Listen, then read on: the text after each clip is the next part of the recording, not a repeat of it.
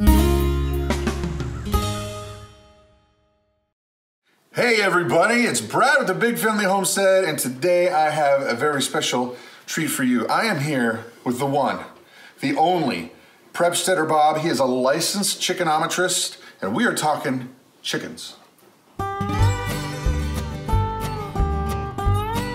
I have been raising with my wife, my lovely bride Christa, chickens for about eight years now, and so that makes us not the uh, spring chicken, but we're definitely not experts either.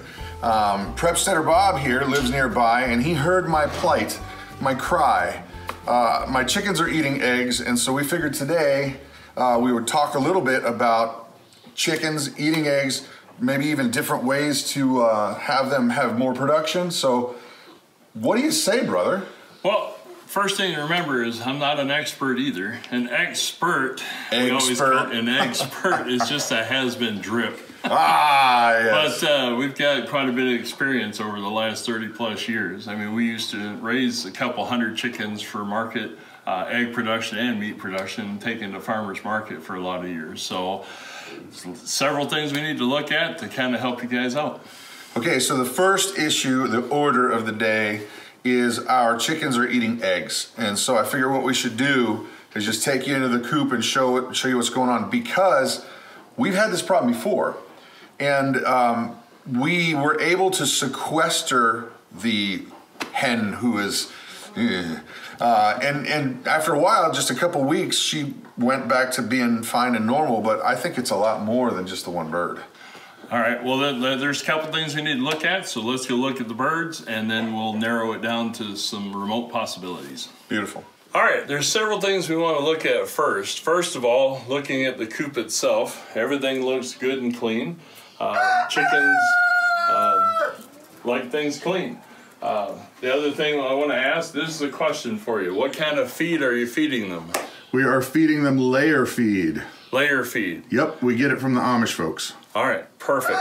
So it's not necessarily the feed. Now, you guys have already stated in one of your videos that you understood that chickens were omnivores. The thing to remember is that even chickens like to eat chicken. Chicken nuggets are awesome. So there's some other things we need to look at. So let's go outside and look at the scratch yard outside. All right, looking at the scratch yard, one of the things I'm seeing is plenty of tall grass. The birds are all out enjoying it. They're not uh, being mean to uh, each other. They're not chasing each other. And the other big thing is, is that you're providing all kinds of different types of food, which will help. Uh, I always tell people when you're dealing with your own chickens, one of the ways you can tell if your feed is varied enough is just how dark is the yolk. The darker the yolk, the better the feed is that you're feeding them. Okay, well, excuse me, I didn't mean to butt in on your video. Uh, so the, the feed is good, uh, the, the coop is clean enough. I mean, it's a chicken coop. It's chickens. The water's good. The feed's good. Um, they've got plenty of area to scratch outside. They're not. Uh, they're being communal, so they're not really chasing. You know, you don't see a a, a, a, head chicken that's really uh, Picking on the other yeah, ones, establishing yeah. a pecking order. So they all look happy. They all look good. So there's something else obvious that's just missing. Well, uh, I'm sorry, did not mean to jump in there. Go ahead. We've tried and seen other uh, methods, like people putting golf balls into the nesting area, and that did not work for us. No, and that usually doesn't work uh, for the simple fact that. Uh, well, let me ask you: uh, How many chickens do you have? We have 24. You have 24. So you should be. How old are the chickens? They're, this is they're just started laying about three months ago. Three months ago. So they should be 24 chickens. You should be getting 12 to 16 eggs every day. Absolutely, and these this particular breed is supposed to give you about an egg every day and a half. Every day and a half. So it's Yes. a 28 hour cycle Correct. for chickens. Yep. So, um, so there's something else that's going on that are making the chickens. How, how many eggs are you getting a day? Four. Four. Okay, you're losing an easy dozen. Yep. So they're eating them, chances are. You haven't seen any other animals coming in from outside? No. Not at all. No, just birds from time to time. All right. No obvious raccoons or skunks or things No, along that line? nope, none at all. No predators. We've been I'm- very blessed. I'm not seeing any predator tracks or anything outside, so that all looks good. It's something else obvious. I think I see it. oh, All right. Usually chickens are great. They're not uh, necessarily cannibalistic, but sometimes they get bored. I mean, they're, they're really smart. I mean, you're not going to see a chicken playing checkers or anything along that line. no, no chess wizards. No chess chickens, but uh, they have a tendency to get a little bit bored and they do things that come to them as second nature. I think here's part of the problem. what happens is with the nesting box, when you leave it down on the ground, the chickens can see and get straight in. And if they can get straight into it, they're going to sit there and eat the eggs if they're bored. Chickens don't like to be unstable. They, you know, if, if they can stand still and and and and eat and scratch, then they'll do whatever it takes to entertain them.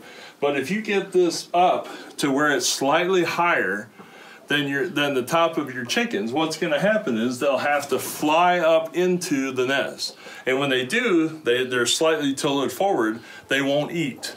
They won't eat or peck the eggs. So what they'll do is go forward, they'll go into the nest, turn around, sit down, and not bother the eggs. So, you know, you say that the chickens get bored easily. Should we just be providing them, you know, more entertainment options like, uh, you know, Sudoku or. They don't make an Xbox for chickens. So, okay, I guess what I'm hearing loud and clear and, and spoken with enough clarity that even I can hear it is penetrated through my ear bones into the head thinker. So, we got to get this thing up off the ground. Get it up uh, slightly higher than your tallest chicken, and then we'll what we'll do is watch for a week and see if your egg count comes up. And if it comes up slightly, and you're not, you know, if you're still below that 16 to 18 eggs, then there's another option, and we can talk about that a little bit later. Okay, um, just as a sidebar, uh, this was really, really important to us, to us and is really important to us. And the reason why is in the past, everyone that we've chatted with says, okay, try this, this, and that. And if you don't, you gotta, they need to be soup. And so I'm really excited about trying this out because these birds are all healthy and they're, they're, I just don't want to see them go bye bye. No freezer camp yet. Yeah, you got to outthink the chicken um, and use uh, use its uh, natural abilities for and against itself. Uh, there's a couple different books out, and we can talk about those later. Cool. So. Well, let's get this thing up off the ground.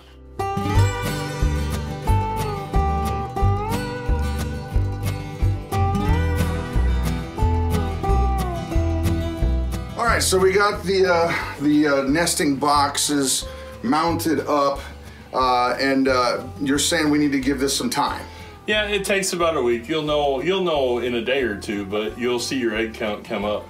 Uh, biggest thing is like when the chicken comes up here. That's why these aren't big long platforms. They stand here. They're a little wobbly. They're able to go right on in, and they'll get in, turn around, and uh, lay their eggs. The um, biggest thing is just you have them out of balance. When you take a chicken and and comfort it, it, it wants to be still. Like this one here, she'll do anything I want her to because. she's like, Cue the crazy chicken. but he was being very polite earlier. oh yeah, but uh, but no, a lot of this stuff. I mean, we've learned by experience. Uh, there's some really great books on Amazon. Um, Storey's on uh, Storey's book on raising chickens is a good starter, but my favorite uh, there's an author by Dr. Temple Grandin on how to deal with farm animals and and and um, how they react to people and and uh, and things that you can do with them. Uh, it's just there's a lot to learn in that book. You know, I, I read a story, and I am not sure. Oh, you can put her down. She's done. She was done. I think she's. I think she's honestly nervous about me because I'm loud. Uh, but I read a story, and and it was in a newspaper article kind of thing, that this gentleman who was a farmer actually had a chicken that he went to cut its head off to butcher it, and it stayed alive Yes. and he would feed it through an eyedropper right down its neck, formerly head, Yeah. and it stayed alive for a couple years. He took it around to fairs and stuff. Is that that can't be? That is a true story. That when he cut uh, went to cut the head, he he got the neck, Missed it. but he missed part of the the main artery that feeds the blood to the brain, so the chicken was able to still be alive. It's kind of morbid though. That is, I mean, let the poor bird go for crying out loud. That's awful hard on your chicken nuggets. Ah, uh, tenderized early. I a little bit. So- but that, that's where most people. I don't ever butcher chickens until they're you know three years plus. Uh, you know, if you're having productivity issues, it's probably something simple, and you just you keep experimenting and trying uh, until until it works. And if this doesn't work, uh, we have another method that's guaranteed. Guaranteed. It's Guaranteed. called it's called an axe and a, and a date with the freezer camp. No, it's an egg roll box, and if this Well, I like egg rolls. not Chinese egg rolls. I'll share them. Well, okay. Um, I'll tell you what. We'll do this, and if it works, you can buy me an egg roll. I will buy you two. All right. Because you're a little, you know, we're, we're, we're, we're plus sized guys. I've been told I'm the largest person in the room. but an egg roll box, we can make that. Uh, have you over and, and Cool. uh, make that in our shop and show people how to do that. Well, fingers crossed that this is going to work. I am super, super grateful that you came over here to check out our place and um, more anxious because I, I don't know if you guys are hearing this, but I'm hearing this loud and clear that there's a whole lot more information that's kind of bottlenecking in this video because I'm trying to keep it more focused on our issue and, and I would love to hear more about all of these tips and tricks. Uh, there's there's plenty to discuss. Well, then it's a double dog dare. I owe him egg rolls and we'll say ice cream is on the house too, so. Hallelujah. Anyway, so I'm Brad, Prep Stetter Bob. and you guys have an amazing day. Cluck, cluck, my good man.